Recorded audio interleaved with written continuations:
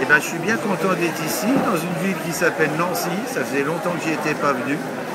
Et puis, bon, il pleut, mais, euh, mais c'est très agréable. Les gens sont gentils. Tout à l'heure, il y avait plein, plein de gens. J'ai pas arrêté de dédicacer des livres à ah, des gens qui avaient l'air très contents. Donc, je suis très heureux. Et voilà.